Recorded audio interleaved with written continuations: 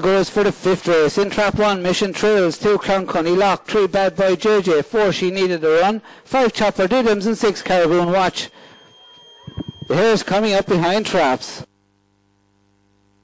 And away they go, and it's Trap 6 who gets a good break along with one, and they dispute. The early running with Trap 6 showing the better early pace to lead around the first bend from Trap 1 who challenges strongly. And it's Trap 1 Mission Thrills who leads down the back straight with 300 yards to go, challenged by 6 on the outside with Trap 5 and third neck and neck into the third bend. Mission Thrills kicks on again, goes a length clear of trap six. Carrigoon Watch. Trap five is third as Chopper Diddums, but turning for home It's Mission Thrills who has the advantage and is going to win for the first time tonight. Six runs on for second and five third. One six and five for your trio.